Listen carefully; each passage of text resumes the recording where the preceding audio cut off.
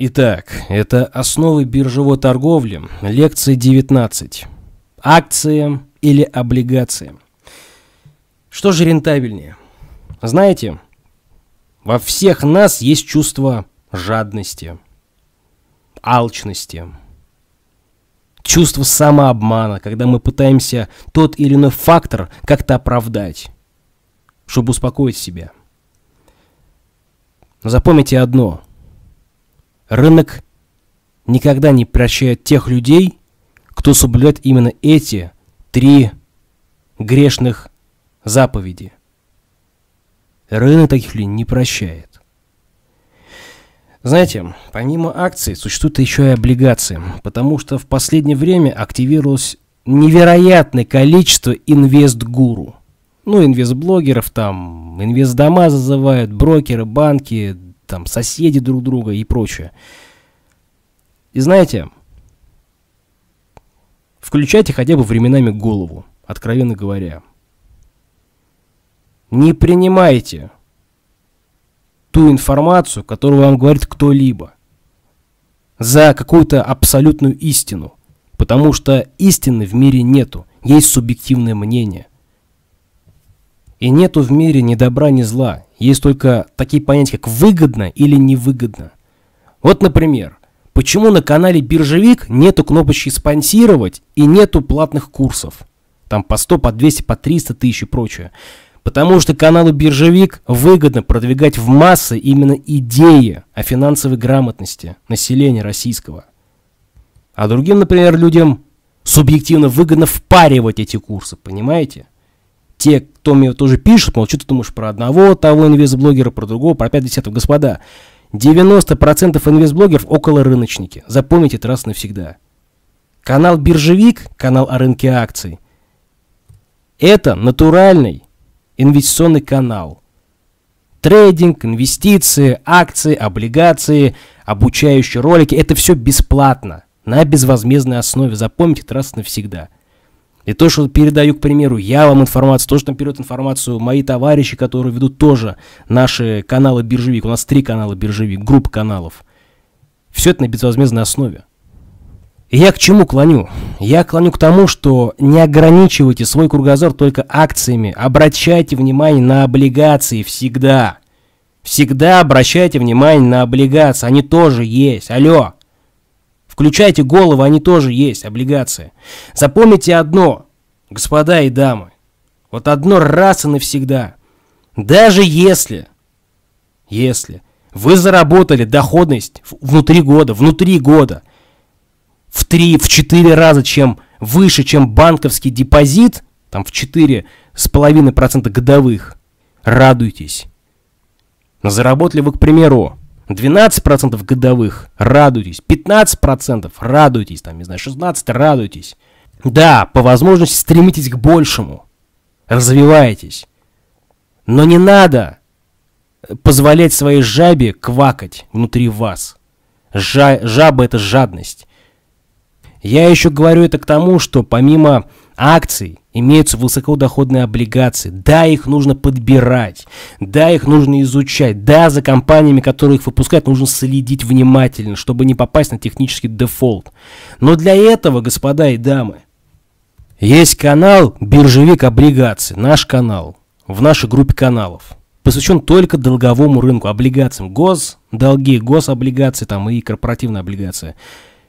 Я просто к чему клоню? К тому, что даже собрав портфель высокодоходных облигаций, вы в год можете зарабатывать и 10%, и 11%, и даже 15%. Но вы должны использовать одну важную пропорцию. Возможность, деленная на риск, равно рентабельность вложений. Вы должны прикинуть все возможности и все риски, взвесить их на своей чаше весов и самим собой договориться, что если в этой компании что-то негативное произойдет, я буду продавать даже по курсовому минусу ее облигации. Но причем этот курсовой минус вам могут покрыть спокойно и купон от этой облигации. В зависимости от ее доходности. Вот, например, я на данном канале биржевик облигации публиковал портфель. Ну, не портфель, а эмитенты, на, как, на какие можно обратить все-таки внимание. И знаете, в чем суть? Это еще не весь список. Я этот список, да, он пока еще из 21 облигации, а я буду еще, у меня еще там 9 штук есть. 30 эмитентов у меня. А будет еще больше. Потому что э, в долговом рынке нужна абсолютная диверсификация. Например, если вы суперконсервативный инвестор, да, вот, например, у вас, допустим, 2,5 миллиона рублей. К примеру говоря, ваш капитал, да, вы смотрите рынок акций, вы думаете, войти, не войти, но вы пока не готовы войти. Хорошо, не вопрос, вы не готовы войти. Но вы подписаны на биржевика, да? Допустим, 2,5 миллиона рублей ваших. Вот смотрите, очень важная пропорция. Делим, например, на количество эмитентов. Например, если вот вы вошли на канал биржи, там, условно говоря, через месяц после этого видео, да, вы увидите, что тут будет еще 9 эмитентов добавлено вот в этот список. То есть не 21 эмитент, а будет их 30 эмитентов. И вы потом, грубо говоря, делаете так. 2,5 ляма делим на 30 эмитентов равно 83 1333 рубля на одну компанию, на одно вложение. То есть, следовательно, у вас 30 эмитентов, по 83 1333 рубля вы вкладываете в один эмитент. Почему именно так, господа? Да чтобы именовать технического дефолта. Нужна в долговом рынке диверсификация. Запомните одну, одну эту важную вещь. Диверсификация. Чем вы больше компаний наберете в свой портфель, тем вы рентабельнее сможете потом через год, два, три ваше вложение, из них выйти с хорошим профитом. И при этом купон этой компании реинвестировать.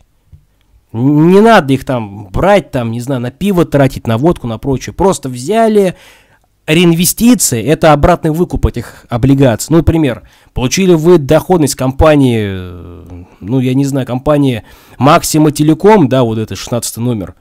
Получили купон, эту же облигацию выкупили на размер купона. Все. И при этом вы а, номинал своего капитала будете просто увеличивать.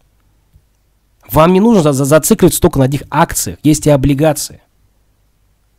И почему канал Биржевик, канал рынки акций за один год вырос почти на полсотни тысяч человек? Почему вот именно одни каналы развиваются, там, не знаю, за 9, там, 5 лет не набирают даже 50 тысяч, а Биржик выстрелил и набрал 52 тысячи человек уже за один год. И начиналось при этом все с нуля а потому что охватом на канале берется информация про акции, облигации, ETF, индексные фонды, все это трейдинг, инвестиции, отчеты, обучающие ролики, это все берется охватом. Инвест-идеи, которые отрабатываются. Да, есть которые не отрабатываются, но не отработка, это лишь вопрос времени, они все равно отрабатываются. Краткосрок, средний срок лучше друг спекулянта. Не интрадей этот сраный, а краткосрок и средний срок всегда окупается. Поэтому, возвращаясь к теме облигаций, данную пропорцию соблюдайте, сможете нормально из рынка выехать. Потому что, вот смотрите, вот смотрите, вот просто давайте, вот представьте меня, как человек, который с вами общается. Вот рядом, вот, например, если вы слушаете мой голос в машине сейчас, да, представьте, что я сижу вот с правой стороны от вас, у двери автомобильной. Мужик. Короткий волос, но шикарно пышная борода. И вот послушайте меня внимательно, дорогой наш товарищ, господин, госпожа, граждане. Запомните одно, чтобы не терроризировать себе нервы, не мочить их из дула пулемета, а, а спать нормально ночами. Вы можете не только в акциях работать. Потому что те люди, которые даже сейчас приходят на фондовый рынок, они приходят не на... не не, в эти облигации те же самые, да, а именно в акции. И потом, когда происходит обвал в рынке, да, крах рынка, коррекция. Ну ладно, не крах, коррекция, там процентов 20 упал рынок, да. Там неделю, две, три падает, там месяц. У них паника. И они начинают друг друга обвинять в стиле, вот меня там Вася зазывал, там вот меня Маша зазвала, там вот меня Даша зазвала, там, понимаете? У вас должна быть своя голова на плечах, господа. В чем проблема России? Проблема России в том, что никто ни хрена за свою жизнь не собирается ответственность брать. Вот я был недавно в поликлинике. У меня тоже есть одни некоторые моменты по здоровью, которые я сейчас разруливаю. И что вы думаете? Впустили меня туда? Не впустили. Нет. Приходилось решать вопрос уже через другие вышестоящие органы. Почему не впустили? Ответственность не хотят брать за свою работу. Те вот, скажем так, врач-вахтер. Врач-дефис-вахтер. Но вы-то будьте любезны брать на себя ответственность, когда вы приходите в рынок, вы свои бабки сюда вкладываете, вы кликаете кнопку «Купить, продать» сами, в первую очередь. Поэтому не, можно не только в облигации лезть, э, в акции лезть, можно еще и в облигации как вариант. Все зависит от того, какую доходность вы хотите получить. Если хотите получить доходность 10%, там 11-12 в год, и у вас там капитал, к примеру, условно говоря, там, не знаю, миллион, два, три, пять, там 10 миллионов, мне причем тоже такие люди пишут, которые капиталы конкретно высокие, большие то есть. Но вы при этом остерегайтесь рыночных колебаний, то есть, э, не знаю, условно говоря, 10% вверх, 10% вниз. Ну, напрягает вас, я понимаю, причем, я прекрасно понимаю, напрягает, это неприятно. Есть облигации. Есть умеренно рисковые облигации, да, которые, к примеру, указаны перед вами сейчас, вот в этом экране. Видите? Корпоративные бонды, корпоративные облигации. А есть традиционные облигации в виде облигаций федерального займа, 29 год. Там доходность, правда, меньше, там примерно 6, врать не буду, то ли 5,5, то ли 6% годовых, да? Но, елки-палки, хотите умеренно выпить шампусика, да? Умейте умеренно рисковать. Тут, как говорится, никто вам не говорит, мол, типа, иди там Васе Попкина все последние трусы рви. Нет, умеренно, умеренно. Ниточку порвал, заштопал там на своих труселях. Все. Все. Но везить на абсолютно зазывание, скажем так, только в акции, только в акции, не надо. И знаете, почему не надо? Вот сейчас смотрите, в чем суть. Сейчас многие инвест-дома, причем многие инвест-дома, как называют они сейчас своих клиентов? Мне даже пишут отдельные лица, которые работают в банке. Вот как продавать те или иные продукты. Я еще раз говорю, я работал сам в банках. Я занимался продажей финансовых услуг в свое время. У меня опыт в этом реально большой. Большой опыт. И мне те люди, которые молодые пишут, да, ну, операционисты, которые вот работают, да, мне нетрудно помочь, но я пытаюсь донести одну важную вещь. Продавайте качественно услуги, не надо впаривать. И в чем суть? Как они сейчас привлекают? Доходностью по дивидендам. Вы что думаете, доходность по дивидендам? В следующем году будут большие дивиденды что компании платить, российские, или американские, или европейские? Нет, забудьте про дивиденд на ближайший год. Полтора, год-полтора забудьте про дивиденды. Не будут большие дивы платить. Умеренно? Да, умеренные, но не такие шикарные, какие были в 2019 году. Не такие шикарные, господа. И не такие шикарные, какие были в 2020 году за итоги 2019 года. Они будут ниже. Но в чем суть-то, я к чему клоню? Например, вы собрали себе портфель из акций. Ну, например, купили сейчас его. Там, допустим, 20 компаний, да? Вам там сказали, мол, у вас там приблизительно доходность будет, там, допустим, 10% годовых. Вы должны напрячься. Вы должны понять, как, с чего Откуда 10%? Год кризисный. Запомните, господа, в кризисные годы всегда любые компании терпят свои убытки и издержки. В кризисные годы они даже сокращают кап-затраты свои, чтобы остаться на э, положительном денежном потоке компания. Чтобы там не было издержек абсолютных. Уж про Дива я молчу. Не все компании платят Дива дивиденды со свободным денежным потоком. Не все компании, господа, не, не все. Многие компании даже убытки фиксируют по итогам года. А я уж молчу про дивиденды. Им нечего дивиденды платить. Им там что, ген, гендиректор что, почку продавать, что ли? Ради акционера? Нет. Нет.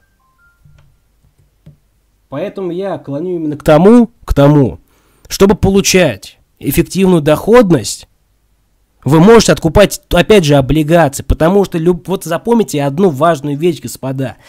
Есть иерархия, есть схема. Просто вот вам иерархия. Кто находится на вершине корпоративной пищевой цепочки?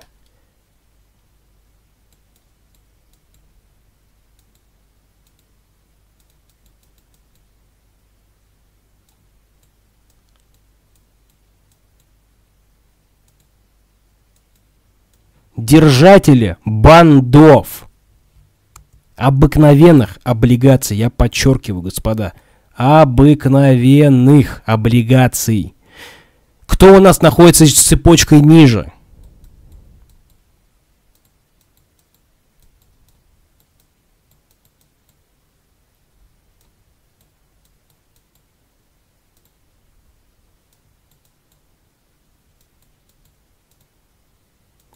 держатели облигаций субординированных. И встает логично вопрос, а где же акционеры? Господа и дамы,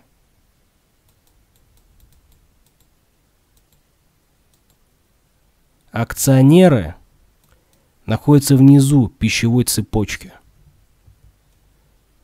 И если вы откупили облигацию какой-либо компании, компания вам обязана будет выплатить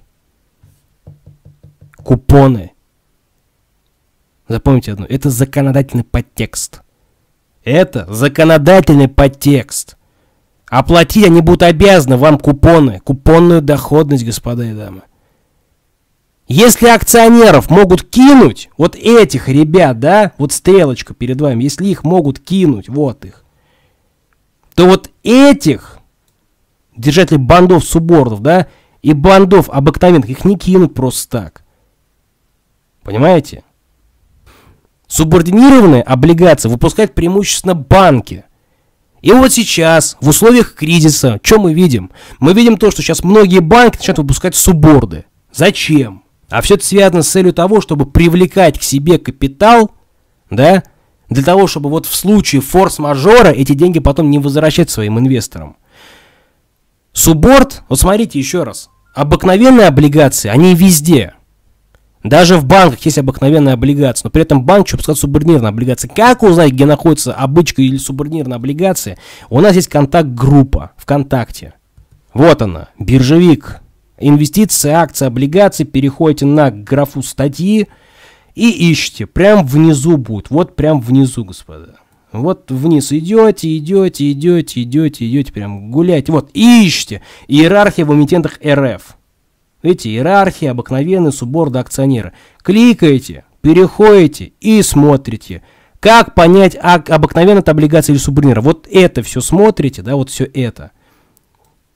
И уже выход ищете искать там в проспекте ценных бумаг. Он огромный, там даже по 100 листов есть. Но для этого вы можете войти в этот проспект ценных бумаг, нажать Ctrl-F и, и написать слово «суборды». И там где-то на одном из листе, там, может, там, не знаю, 65-й лист будет, на, будет написано, это облигация обыкновенная или субординированная. Либо в Квике найти у себя, программа Квик, биржевая. Тоже в эмитент входите и ищите потом по настройкам. Субборд или обыкновенно, там тоже это написано. Либо звоните брокеру и спрашивайте, мол, типа, Василий Иванович, здравствуйте, я ваш клиент. Подскажите, пожалуйста, вот данная облигация компания, э, банка АБВГД, она субординированная или обыкновенная? Вам Василий Иванович скажет, там, Николай Петрович, вас лелеем, уважаем, да, облигация субординированная. Василий Иванович, благодарю, до свидания. Всего вам доброго. Э, как-то вас там, я забыл, как вас зовут. Все. Трубку до свидания. Пока-пока, все. Мир, жвачка, дружба. Вот так и можно работать, понимаете? Так что данную пропорцию по облигациям тоже необходимо помнить. И в любом случае, как вам, как акционеру, ну не акционеру, а как держателю долгов этой компании, то есть, э, ну, облигаций, долговых бумаг, обыкновенных, вам все равно будут выплачивать те или иные купоны. Переходим дальше. Видео будет большим. Обращать внимание на доходность эмитента. Вот смотрите, господа, я сегодня тоже делал обзор компании Lady and Gentleman City на нашем телеграм-канале «Биржик облигации». Что меня в этом эмитенте напрягает? Фундаментальная компания «Конфетка». Но, господа, ох ты, ёпарасы, уже 4 вот посмотрите, утром было 307, 370% годовых, а сейчас стало 4208. Вот когда вы видите такую доходность, руки в ноги колобком бегите. Почему? Облигация находится на грани технического дефолта. Посмотрите, какая волатильность здесь, дикая. В пятницу было там еще 110% годовых доход, а сегодня уже 4000. Хотите прикол? Я вам сейчас покажу прикол. Удивитесь. Вот облигация Деникол, да? Эта облигация уже произвела технический дефолт. Насколько я знаю, да? Вот. И в чем суть-то? посмотрите доходность, 285 тысяч процентов годовых, 285 тысяч. Когда вы, повторяюсь, видите нечто подобное, там, если в облигации дают вам больше, там, не знаю, 20 процентов годовых, напрягайтесь всегда. Запомните одно, господа и дамы. В рынке акций, в рынке облигаций, в валютном рынке, в товарном рынке, если торгуете фьючерсами, ваша задница не, защищ... не защищена. Бутылка ближе, чем вы думаете. И если вы, как, допустим, солдат, да, как, не знаю, в военной части, условно говоря, вы там караулите там один день, нет врагов, два дня, нет врагов, три дня, нет врагов, четыре дня, уже вошло в привычку, вы начали отдыхать, ну так думать, ну и сегодня не будет, да, пятый день, никого нету, на шестой день пришли диверсанты. И что вы думаете? У вас притупилось чувство самосохранения, понимаете? Вот то же самое и здесь. Вы на военном поле находитесь. Вы, вы как тот самый сторожила. Вы сторожите свой капитал, свои деньги. И чтобы эти деньги засторожить настолько сильно, чтобы их не потерять нигде, вы должны всегда иметь при себе чувство э, самосохранения. Где-то, если вы видите шухер, Сразу убегать надо, неважно, что это, акция, облигация, там, валюта или фьючерс, плевать. Чуете задницу, то, что вот что-то мне здесь не нравится, вот хоть убей, вот что-то не то. Берете кнопку продать, продаете все и валите отсюда к чертовой матери. И вот про облигацию то же самое. Вот это должно напрягать. То, что выше 20% годовых, а если вам дают 285 или там миллион процентов годовых, бегите, господа и дамы, бегите. Нечего тут делать. Вот. На что еще смотреть надо в этих облигациях, господа и дамы? Вот на что смотреть? Обращайте всегда внимание, когда выбираете облигацию, на фундаментал. Вот это просто важное табу, которое вы должны для себя всегда знать. Это как молитвенник для вас. Почему? Потому что, вот смотрите, например, я делал недавно обзор акций, э, облигаций компании Softline Trade. Это очень известная на весь мир российская IT-компания. Во всем мире работает. Понимаете, во всем мире. Не только Россиюшка, но и там Америка, Азия, Австралия, это Африка, там Латинская Америка и прочее. Весь мир, Европа тоже, все короче. И в чем суть? По э, данному эмитенту я также делал фундаментальный анализ. То есть вот, обращайте всегда внимание, господа, деятельность компании, вот на деятельность, да, производственные мощности, вот они, и нынешний проект, то есть будущие капитальные затраты, вот они, да. И в чем суть?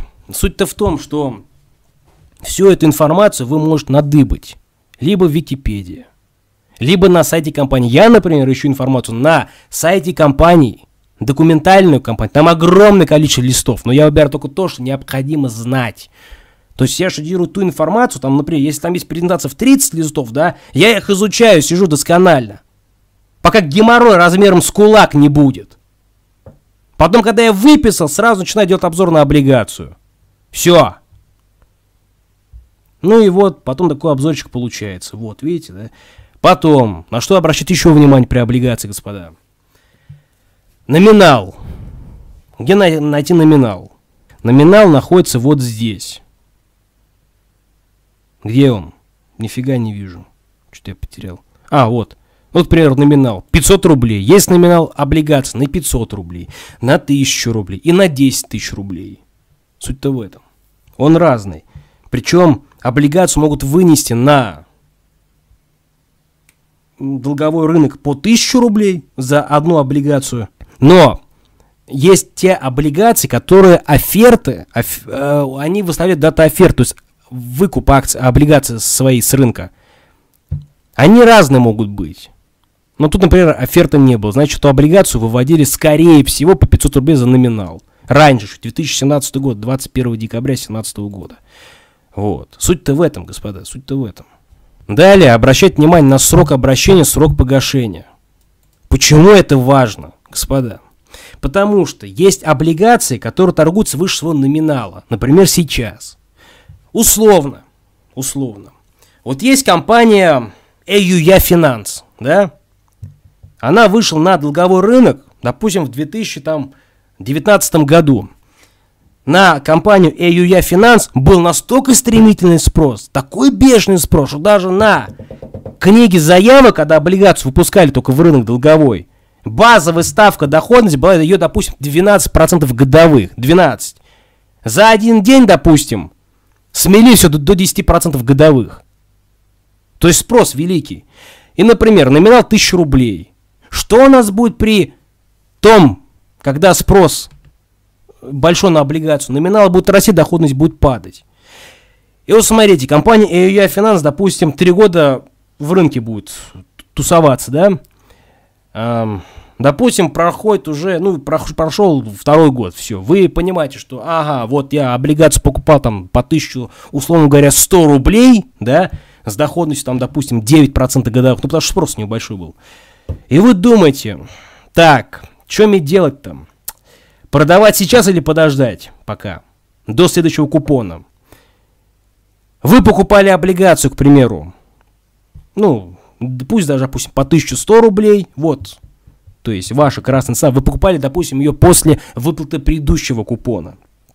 Почему это важно? Потому что накопленный купонный доход вы за него не переплачиваете. Я про него сейчас еще расскажу. Ну, скажу про купонный доход накопленный. Вот, вы купили по 1000 рублей. И потом в течение будущих, допустим, 6 месяцев а купоны компании по-разному платят. Есть и которые раз в месяц платят, которые раз в три месяца, которые раз в полгода платят. Три вида есть, три вида. И они по ним платят. Вот. И суть-то в том, что у вас остается, допустим, полгода до выплаты нового купона. Допустим, купон составляет 50 рублей, условно говоря. Все эти полгода к вашей базовой стоимости в 1100 рублей будет копиться по 50 рублей. Это накопленный купонный доход. Допустим, допустим, вот вы раньше купили по 1100, вы получили там, допустим, два там раза уже э, купоны с облигации.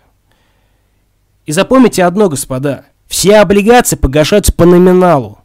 Вот вышла, допустим, за 1000 рублей в рынок, да? Косарь, вот косарь вышла, она по косарю и погасится. Не по 1100, не по 900, не по 500, не по 100 рублей, а по 1000 рублей. И в чем суть? Чтобы не, на бутылку не сесть, как говорится, да, как вот на нашем сообществе говорится, чтобы вот не, не стать лохом, извините меня за такую подробность, да, облигацию надо продать за полгода до даты погашения ее. Почему? А потому что перед погашением ее будут тянуть вниз, вниз, вниз и вниз к номиналу. Ее не будут держать по 1100 рублей, ее будут вниз тянуть. Я это сам на себе тоже проходил. Это опыт в облигациях, в этих долговом рынке, в корпоративном долговом рынке. Ну, банды корпоративные, компании имеется в виду. Вот. Ее будут тянуть вниз. То же самое с гособлигациями, то же самое. Муниципальные облигации государственные, то же самое. Поэтому я говорю, обращать внимание на дату погашения. Всегда. За полгода надо продавать ее всегда. Далее. Ориентировочная купонная ставка. Что она из себя представляет?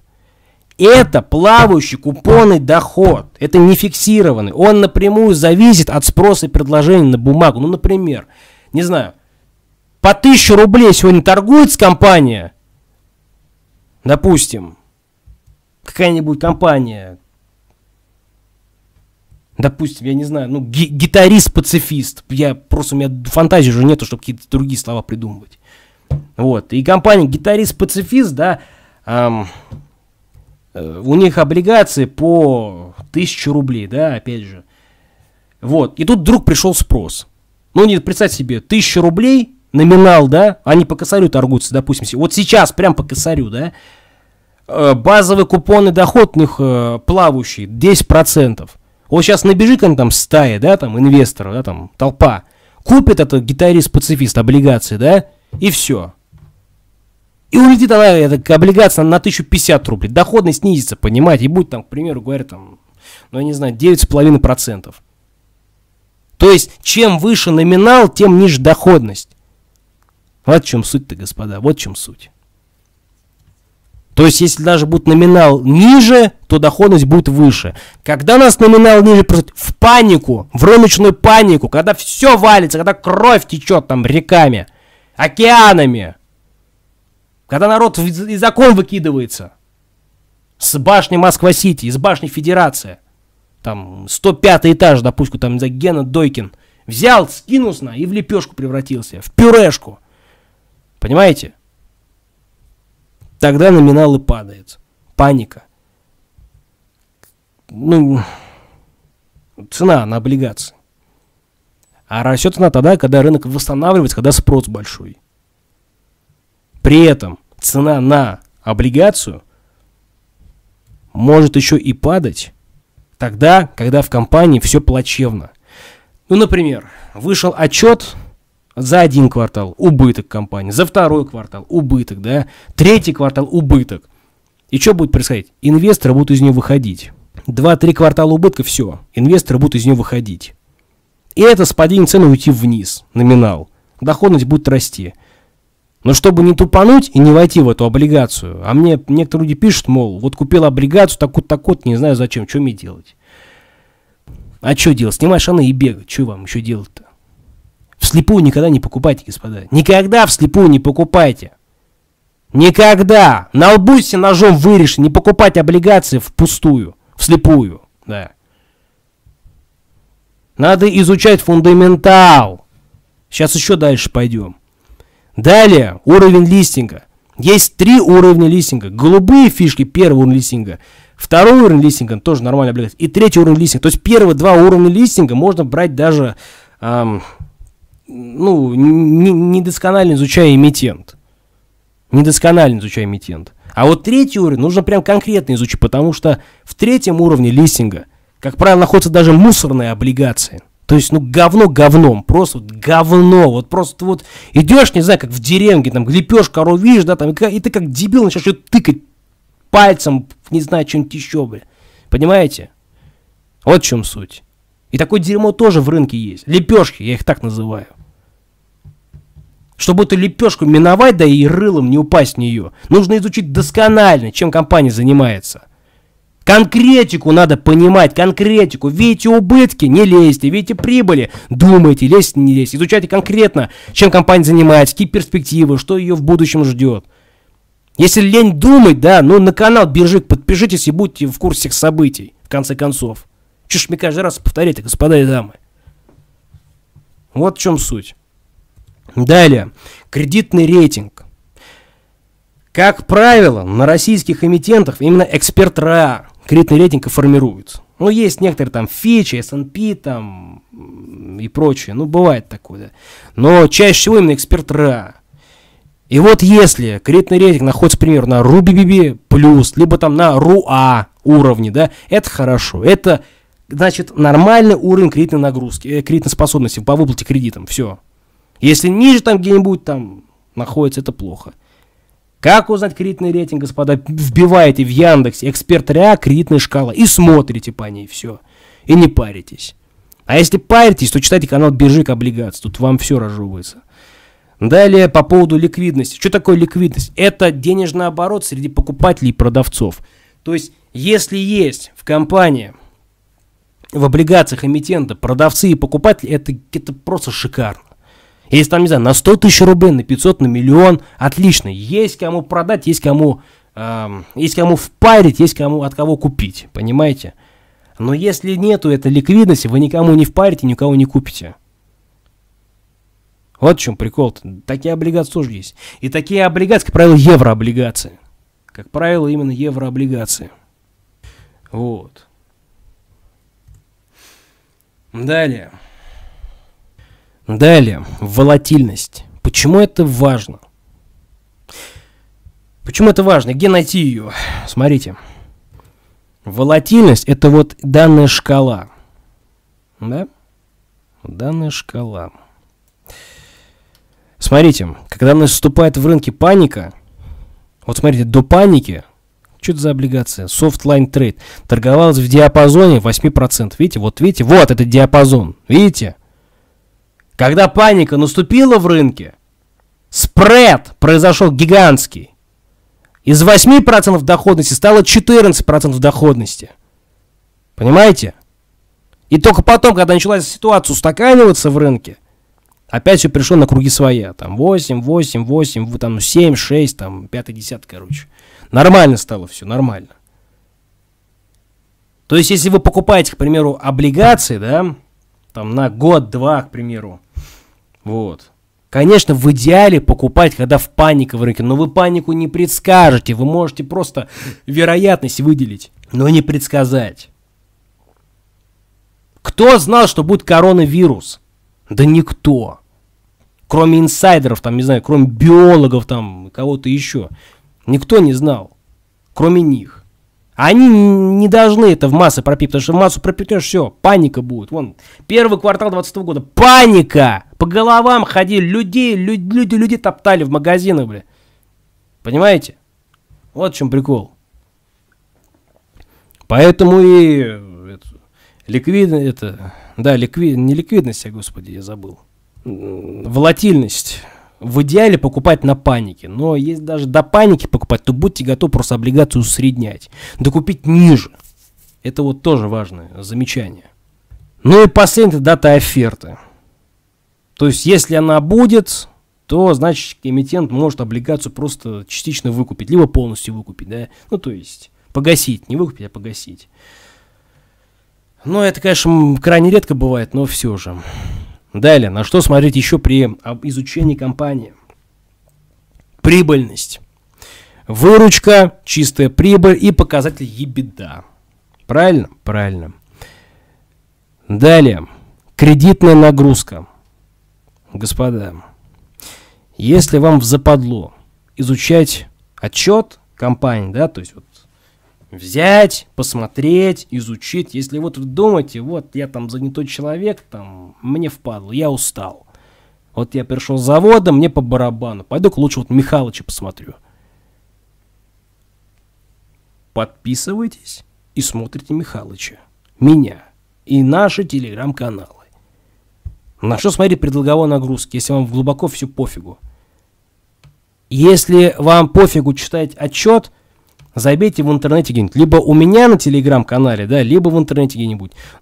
Наименование компании и показатель долг делен на ебеда. Если ебеда ниже там, 3, дефис 4 пунктов, 1х это 1 пункт. Если она ниже 3-4х, да, то покупать нормально. То есть это минимальная долговая нагрузка, которая активно погашается. Если там долговая нагрузка выше 5 пунктов, да, как, к примеру, в компании – Балтийский лизинг, да? Где у него долг? 20, почти 21 пункт. Долг делен на ебеда. Это гигантская нагрузка. Это конская, это опасная нагрузка. Почему? Потому что компания может по облигациям ничего не платить, а бить технический дефолт. И вы без денег останетесь. Все. Поэтому смотрите на долговую нагрузку как вот на важность, очень важную вещь. Вот, это, в принципе, те необходимые вещи, которые необходимо учитывать всегда. Поэтому, что я могу вам сказать? Не только есть акции, есть и облигации. Просто вы должны договориться с самим собой, на какую доходность вы претендуете в годовом соотношении. Господа, бежать за какой-то большой доходность не стоит. Не надо. Если вам там какой-нибудь, не знаю, инвест-блогер сказал то, что, мол, вот я зарабатываю там по 50-60% годовых, смотрите, какой я гуру. Покупайте мои курсы. Вас должно это обострить, прям напрячь. А не балабол ли он, понимаете? А балаболов в мире много стало. В одной нашей стране сколько балаболов продают курсы в кредит, да, и потом говорят, как они охрененно там зарабатывают. Там платные телеграм-каналы формируют, кнопочки спонсировать в ютубе, да, там Курс продают там по 100, по 200, по 300, по 400. Потом они там на заборах своих сидят, там я не знаю. Что там они еще делают. Говорят то, что вот я там посижу, подумаю, там донатик получу и, ну, наверное, войду. На 0,5% от капитала. Понимаете? А на биржаке вас учат жизни. Как дедовщина. Вот вы в армию пришли, кто в армии служил? Вы помните, да? Флот, ВДВ, Самые жесткие места, какие у нас, армейские, флот и ВДВ. Военным ВМФ и ВДВ. Вот там жесть полная. Прижет и сразу люлей, как надавалено. Запинали, заклевали, почки отбили. Жизнь научили. Бесплатно, без СМС. Иди гуляй, Вася. И Вася пойдет гулять. Поплачет, но мужиком станет нормальным. То же самое на биржевике вас. Побили, поклевали, поплевали, по почкам надавали, жизнь научили. Все. Бесплатно без СМС. В прямом смысле, бесплатно без СМС. Берите, получайте. Еще и курсы тут мы даем халявные на весь интернет. Вот, обучающие. Почему? А потому что цель у нас хотя бы, чтобы канал наш помог, как бы людям сформировать свою финансовую грамотность, свое финансовое мышление, мышление. Потому что куда ни гляньте, люди не понимают, что это такое, зачем это надо, что такое облигат, что такое акции. Не знают, им пофигу. Они там жрут, спят, э, сношаются, все. Им больше ничего не надо. Печально. Не такого будущего хотели наши предки.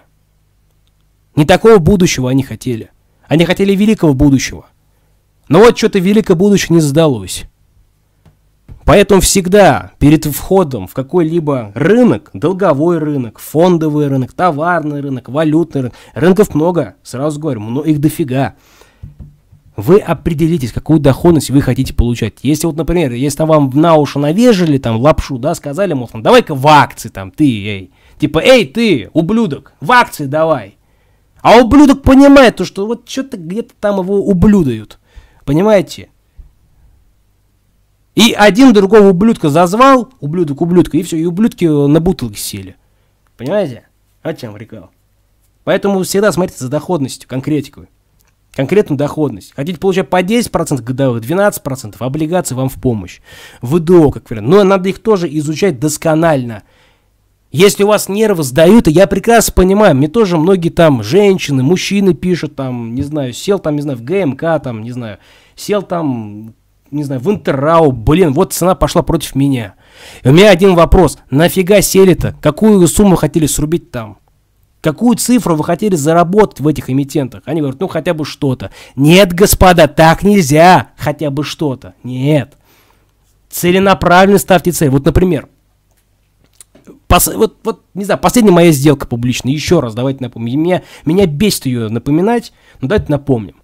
Не знаю, Северсталь, к примеру, да? Я несколько месяцев говорил, голова и плечи перевернут находятся там. Ц, воняет выше косаря. Косарем воняет, то есть. У меня цель была пойти к косарю и выше. Ну, кое-как додержал ее, выше косаря пошел. У вас должна быть та же самая стратегия в рынке. Понимаете, вы должны почуть вонь. Вонь, вы должны почуть техническую вонь от того вложения, которое вы делаете. Завонять должно.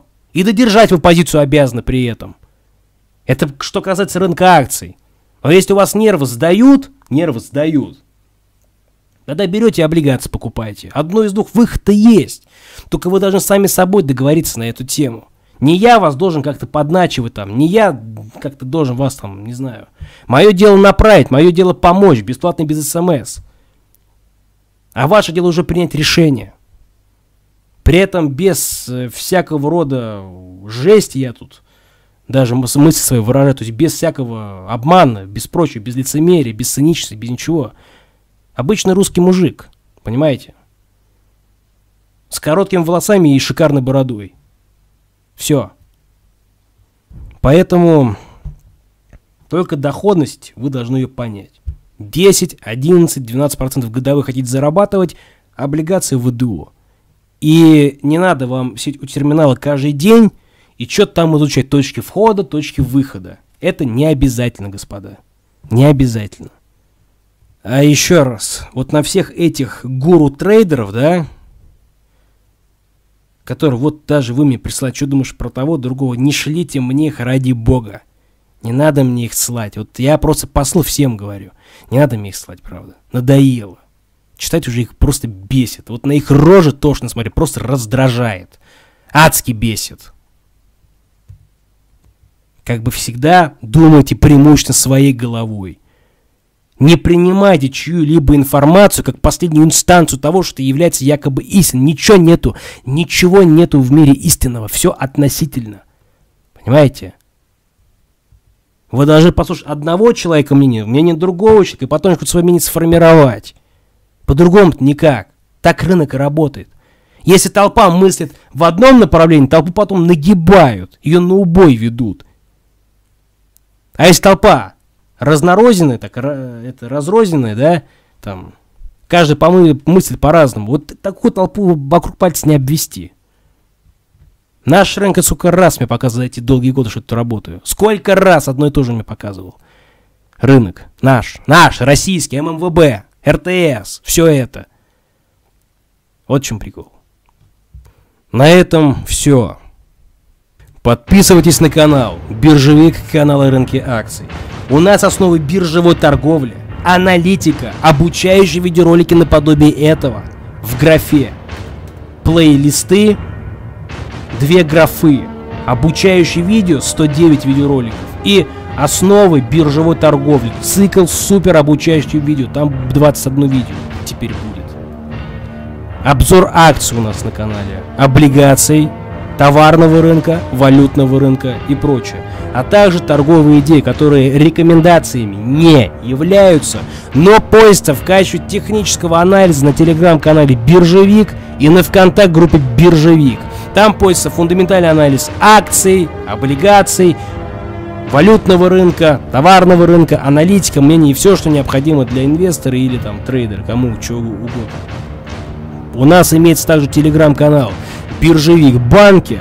Там пояса новости, аналитика, обучающие это, посты про долговой рынок, а также фундаментальный анализ облигаций тех или иных компаний или регионов российских или ОФЗ, которые наши многие люди, читатели запрашивают, ну, обозреть. И у нас еще имеется телеграм-канал Биржевик Банки, там поиск новости, аналитика, мнение про кредитование, страхование, ИСЖ, НСЖ, вклады, обучающие посты и прочее, что связано с рынком финансов. Тоже на этот канал подписывайтесь и будьте в курсе событий. Помните, что мы все обречены на прибыль. Лишь время, среднесрочная и краткосрочная перспектива, а главное грамотная стратегия, лишний раз не суетиться – наши главные союзники. Сколько людей мне пишут, то что краткосрок, средний срок окупается, и говорят, Михалыч, спасибо тебе за это. Запомните, господа, краткосрок, средний срок реально окупается. Все, что говорится на этом канале, оно сбывается. Все, что говорится на этом канале, проверялось лично на мне. На моем теле капитала. На моих деньгах. На этом все. Благодарю за внимание и до свидания.